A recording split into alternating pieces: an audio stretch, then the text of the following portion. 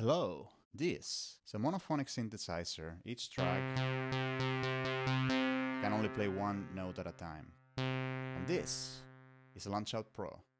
What this custom firmware allow us to do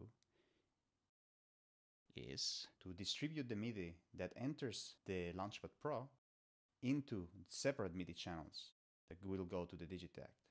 Now we can do this.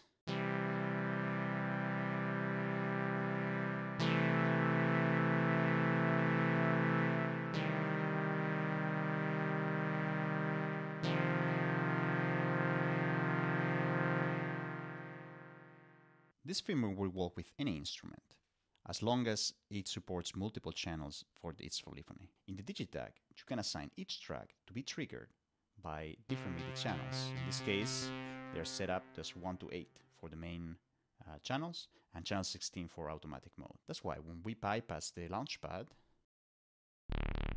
only the track that is active is being played.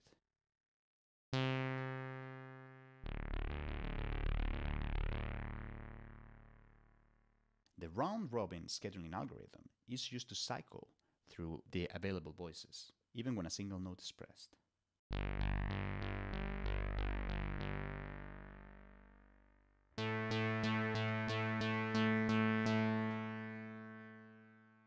This allows voices with long releases to still ring out without being immediately cut by a newer note. Let's set up the amount of polyphony that we want.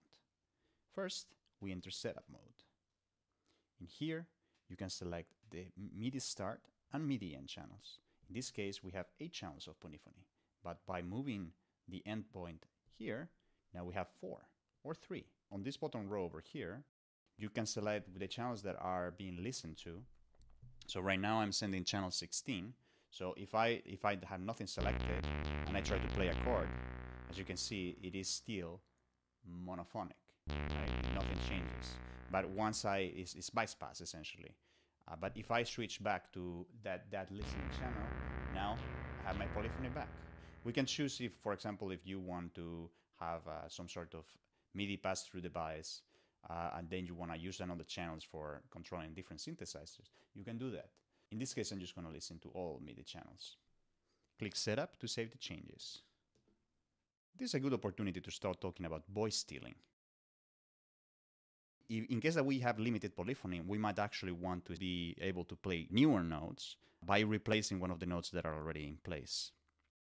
If we press this button over here, we can switch between different modes of polyphony. The voice count indicates how many voices have been used on the main screen.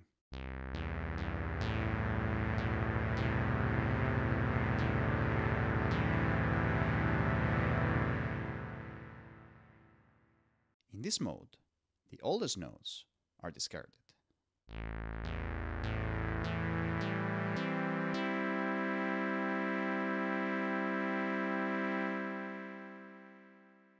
In this mode, the highest notes are discarded.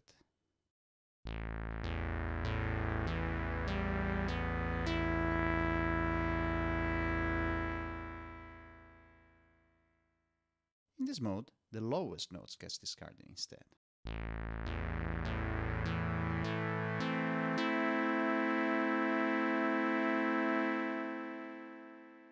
And of course, you can always disable it. This firmware is freely available as an open source project that you can compile.